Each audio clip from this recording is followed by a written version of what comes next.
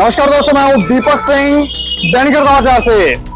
आज तस्वीरें आपको जिला किश्तवाड़ के मरवा की दिखाने जा रहे हैं। वहाँ पर जानकारी ये मिली है कि एक लड़की का कुछ मन चले लोग जो थे, युवक जो थे, एक लड़की का अपहरण करने लगे थे। आरोप तो वहाँ पर इस तरह के भी लगाए गए कि धर्म परिवर्तन से जुड़ा हुआ ये मामला है। कुछ लोग तो ये कह रहे थे कि लव जिहाद से जुड़ा हुआ मामला है। और पुलिस उन लोगों की प्रोटेक्शन कर रही है जो लोग ये कृत्य कर रहे थे। पहले आप वहाँ की तस्वीरें देखें, फिर इस खबर को आपको विस्तार से बताते हैं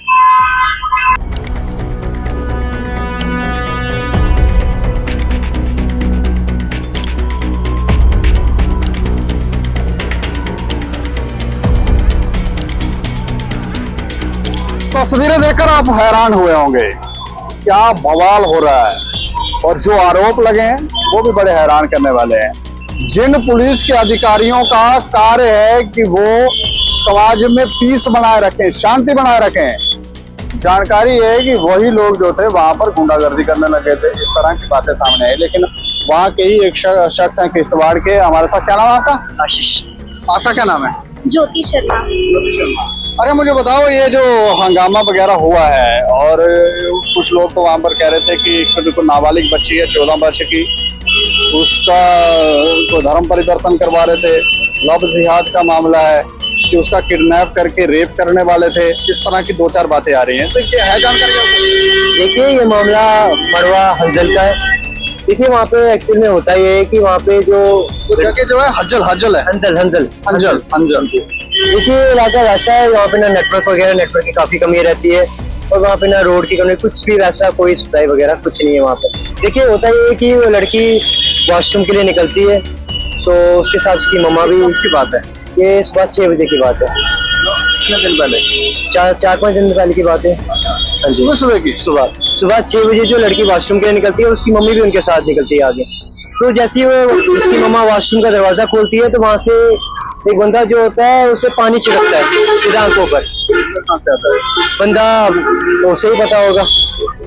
वॉशरूम में था पहले? वॉशरूम में एडवांस वो बंदा वॉशरूम में होता था कि लड़का था? लड़का लड़का था वहाँ पे। एडवांस वॉशरूम में लड़का होता है और जैसी वो माँ उसका दरवाज़ा खोलती है वॉशरूम का तो उसे पानी छिड़कता है।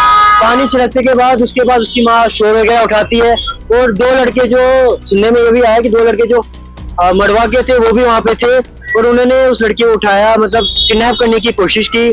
उस टाइम जो उस माँ ने, उसकी माँ ने बेटी को ऐसा देखते हुए शोर वगैरह उठाया, वहाँ के लोग जमा हुए और जो उसमें से तीन लड़कों में से एक लड़के को जो गाँव के लोगों ने जो पकड़ा वहाँ पे, उसके बाद जो पुलिस वगैरह वहाँ पे आती है, पुलिस उस लड़के को पकड़ती है, एक लड़के को दो जो भाग चुके होते हैं एक को पकड़ के जब उन्हें कार्रवाई के लिए कहा जाता है तो पुलिस उन्हें ये चीज़ कहती है जब तक एस डी एम मरवा यहाँ पे नहीं आते तब तक इस लड़के पर कोई कार्रवाई नहीं होती है। पुलिस कहती है तब तक इस पर कोई कार्रवाई नहीं थी जब तक एस डी एम मरवा यहाँ पे नहीं आते। एक दिन हो जाता है कोई कार्रवाई नहीं होती है खाली पुलिस को पुलिस ने उस बंदे को पकड़ के रखा होता है। लेकिन अगले दिन जब लोग सड़कों पे उतर जाते हैं काफ़ी प्रदर्शन करते हैं उसके बाद जो पुलिस उन पर लाठीचार्ज करती है उल्टा जो 18-19 साल की एक लड़की जो वहाँ पे उस टाइम उस लड़की की स्पोर्ट में थी, उस लड़की की हमारी बहन की स्पोर्ट में जो वहाँ पे थी, उस पर भी एक मुंशी थानेदार का उस पर लात वगैरह मारता है और जो प्रेग्नेंट लेडी जो उस टाइम उसकी स्पोर्ट में थी, उसे उससे भी धक्का मुक्की की जाती है वहाँ पर। उसके बाद जब एस डी मरवा अगले दिन आते हैं वहाँ पे और एस एच ओ जो मरवा, ज़ाहिर इकबाल वह उधर उन्हें ये चीज़ कहते हैं कि हम इनकी स्पोर्ट में हैं, आप लोग करिए जो चीज़ करनी मतलब वो उस लड़के की सपोर्ट जो किडनैपर थे उनकी सपोर्ट कर रहे थे। हाँ एच ओ मरवा? जो उस किडनैपर की स्पोर्ट में थे कह रहे थे करिए जो करना है। लड़का कहाँ का था वो? लड़का हंजल का था। क्या नाम है उसका? नाम मुझे मालूम नहीं। है नाबालिग था कि बालिग था? लड़का तो बालिक ही होगा नाबालिग तो है नहीं। हाँ जी। और अभी जो पुलिस ने जो सुनने में आया एस पी किश्तवाड़ जी से बात हुई हमारी उन्होंने कहा है कि दो बंदों को जो अरेस्ट कर दिया हुआ है एक अभी मिल नहीं रहा है एक जो थाने से अटैच है आपको है कोई जानकारी? नहीं मुझे इस बारे में ज़्यादा नहीं है पर मैं चाहती हूँ कि जो इन सब में इन्वॉल्व है उनको अरेस्ट किया जाए बस। अरेस्ट नहीं किया है? नहीं किया पर किया जाए। अच्छा वो कह रहे थे तो एक दो बंदा हो गया। जी दो अरेस्ट हो गए एक रहता है। तो मैं चाहती हूँ उसको भी अरेस्ट किया जाए ढूंढ के। अच्छा। अच्छा क्या लगती है एक छोटी सी बच्ची के साथ इस तरह का व्यवहार मुझे लगता है ये बहुत गलत है। वो एक नाबालिग लड़की है और इस तरह किसी के घर में जाके ये सब करना बहुत गलत है। जो है वो भी कह रही हैं कि ये गलत है। लेकिन मुझे बताओ, ये जिस इलाके की ये बात हो रही है, किश्तवाड़ की, वहाँ पे किस तरह का माहौल है? हिंदू समुदाय के लोगों को, लोग जो हैं, क्या वहाँ पर सुरक्षित हैं? आए दिन को दंगे फसाद होते हैं तो कुछ इस तरह का क्या देखिए वहाँ पे तो आपको पता है वहाँ पे हमें काफ़ी लड़कियों से भी वहाँ पे बात हुई हमारी जो बहनें वहाँ पे उनसे भी बात हुई वहाँ पे इस टाइम जो है डर का बहुत माहौल है वहाँ पे जो कॉलेजेस हो गए यहाँ पे जो कॉलेज है वहाँ पे भी कम से कम आठ दस किलोमीटर जो लड़कियों को पैदल चलना पड़ता है वहाँ पे भी ये शिकायतें मिली है कि दूसरी कम्युनिटी के जो लोग हैं वहाँ पे उन्हें तंग वगैरह भी करते हैं रास्ते में चलते चलते तो वहाँ पे तो इस टाइम है। स्कूल वगैरह कितने कितने दूरी आठ दस किलोमीटर आठ दस किलोमीटर गाड़ी में जा रहे हैं पैदल जा रहे पैदल पैदल पैदल। गाड़ी। हैं तो मतलब गाड़ियाँ भी नहीं है? गाड़ियाँ भी नहीं है वहाँ पे पैदल मतलब रास्ते में जाते हुए हाँ, लड़के पे- मन चले लड़के जो है वो छेड़ते हाँ जी हाँ जी।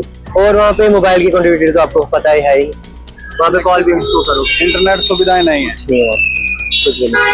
इतना पिछड़ा हुआ इलाका है? पिछड़ा हुआ इलाका है बिल्कुल। मड़वा में फिर भी थोड़ा बहुत है डेवलपमेंट लेकिन अंजल जो गाँव है वहाँ पे कुछ भी नहीं क्योंकि मामला धर्म परिवर्तन से जुड़ा हुआ था? क्या जुड़ा क्या मामला क्या है? किडनैपिंग का किडनैपिंग किडनैपिंग का मामला है अभी तक तो सुनने में यही है किडनैपिंग का मामला है। तो वो लड़का उस लड़की को किडनैप करना चाह रहा हूँ? हाँ जी हाँ जी। माँ की वजह से वो लड़की बच गई? हाँ जी हाँ जी बिल्कुल। लेकिन आज एक बार हुआ है अभी आगे भी क्या पता ऐसी चीज़ें हो सकती है। तो जैसे एस एच ओ मड़वा को जो है ट्रांसफ़र कर दी गई है उनकी लेकिन हम चाहते हैं उनको ऐसे एस एच ओ को सस्पेंड कर दिया जाए। वह इन चीज़ों के लायक नहीं है यहाँ पर जो विशेष समुदाय के लोगों को सपोर्ट कर रहे हैं एक एक समुदाय को सपोर्ट कर रहे हैं ऐसे थानेदारों को सस्पेंड करना सस्पेंड कर दिया जाए। देखिए खाली हमारी बदनामी नहीं है बाकी ये जेके पी पुलिस की भी बदनामी। ये एक बात पे नहीं जाती एच पे बात नहीं जाती पूरे जैन के पुलिस पे बात जाती। हाँ आप कुछ कहना चाहोगे? बस ये कहना चाहूँगी उस एस को सस्पेंड किया जाए। बस थैंक यू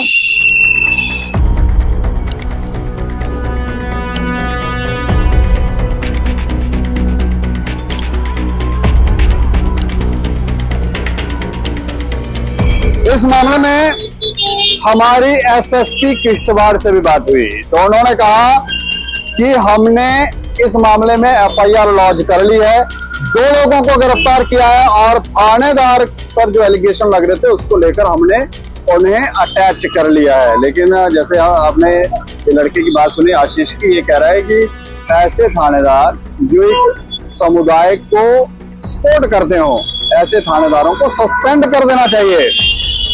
तस्वीरें इतनी हैरान करने वाली है कि नाबालिग लड़की को वो बेहोशी की हालत में है और उसे उठाकर लेकर जा रहे हैं। शोर मचा हुआ है। क्या क्या हो रहा है वहाँ पर? किश्तवाड़ में हमें लगता है कि थोड़ा सा एडमिनिस्ट्रेशन सरकार ध्यान दे। एजेंसियाँ ध्यान दें कि आखिर किश्तवाड़ में ये चल क्या रहा है? और क्या वहाँ पर लोग जो है वो सुरक्षित हैं भी या नहीं? दूसरा उन्होंने कहा कि स्कूल और कॉलेज जो है वो काफ़ी दूरी पर है और गाड़ी से नहीं बल्कि वहाँ पर बच्चों को पैदल ही जाना पड़ता है स्कूल कॉलेज तक तो ऐसे में बीच में ये कुछ मन चले जो लड़के हैं, इनको मौका मिल जाता है लड़कियों को तंग करने का। तो ऐसे जो लोग हैं मन चले और एक विशेष समुदाय के जो लोग हैं, उनके ऊपर ज़रूर अंकुश लगाने की ज़रूरत है। ऐसे में दोबारा इस तरह की तस्वीरें ना आए। इस बात का भी ध्यान रखने की ज़रूरत है। इस खबर के ऊपर आप प्रतिक्रिया रखें और देख रहे। हैं दैनिक समाचार मुझे और मेरे सहयोगी अरुण कुमार को दें इजाज़त। नमस्कार।